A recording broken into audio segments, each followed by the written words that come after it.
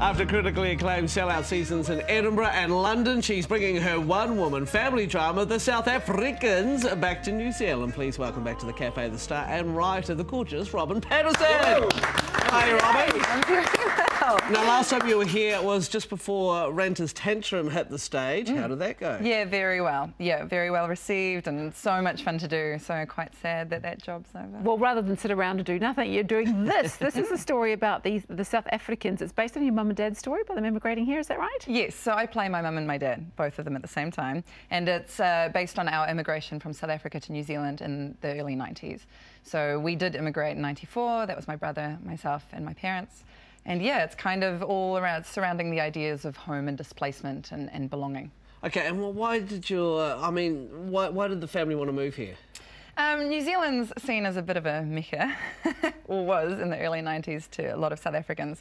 And um, my, yeah, like Mandela was coming up into power at that time, and I don't think anybody really knew how it was going to go. And, you know, my parents had very young children, and my father just kind of decided that it was for the best to kind of to, to make the move. So he was deciding between Perth and Hamilton and got offered a job in Hamilton, so we immigrated to Hamilton. Wow. And so they didn't come and check it out first? They just decided just to just do it straight away? Uh, no, my father came out in the 1970s as a Rotary Exchange student and loved it. And my father was a rugby coach for years, and so obviously, you know, loved um, New Zealand's attitude towards sport and things like that.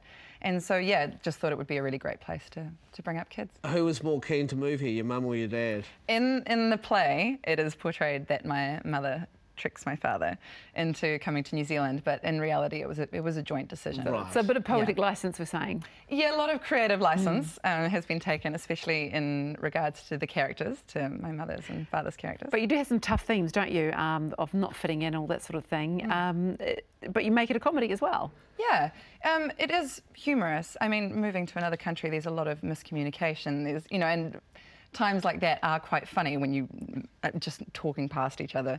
Um, but the feelings of displacement and not belonging, I think, are very relevant and very real for a lot of immigrants. And so there are those underlying themes. So it's not just a kind of comedy show. Okay, so you, uh, obviously it's a one-woman show, Mm-hmm. um, so do you play both your mum and your dad? Is that what you do? Yes, I do. So I flick between them. It's a monologue performed as a duologue. So I'm constantly.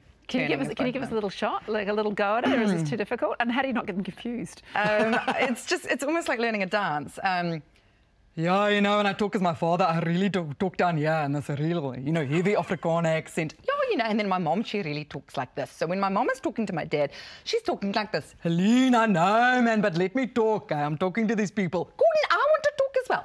So now I'm talking to you as this. Yeah, so Oh, I it's just love it. it's just like that. It's just yeah. Practice in the car, because you must look like a complete weirdo if Yeah, you do. I do. It's just I like, know, what I what's practice- that woman at the lights I practice away from prying eyes.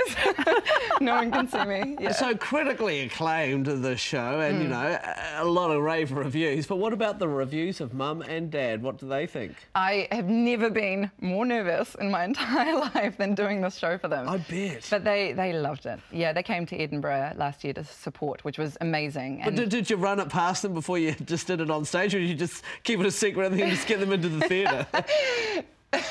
well, it started as a 10 minute version in the 2012 Short and Sweet Festival, and I didn't let them see the script. And that was, I was so I nervous. Because you have to say poetic license, mum, dad. It's not exactly you. Yeah, of course. And I have to just say it's inspired by you. It's you know you just inspire the characters. It's not totally based on you.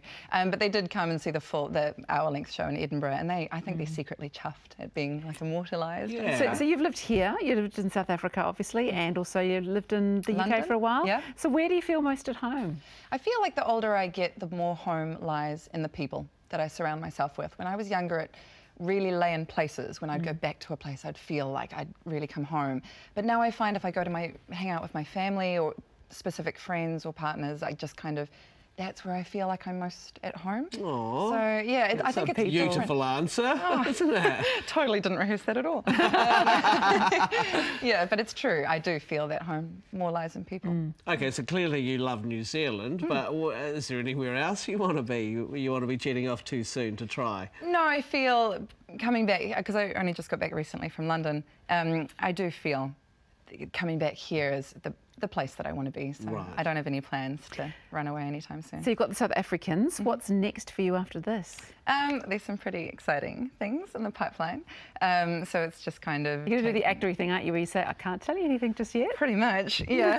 That's, that's pretty much the generic. Okay, well, does it involve stage or does it involve screen? Can I say both? Oh, Yeah. okay. Ooh. There you go. I want some more clues. Does it We'll find out. involve travel?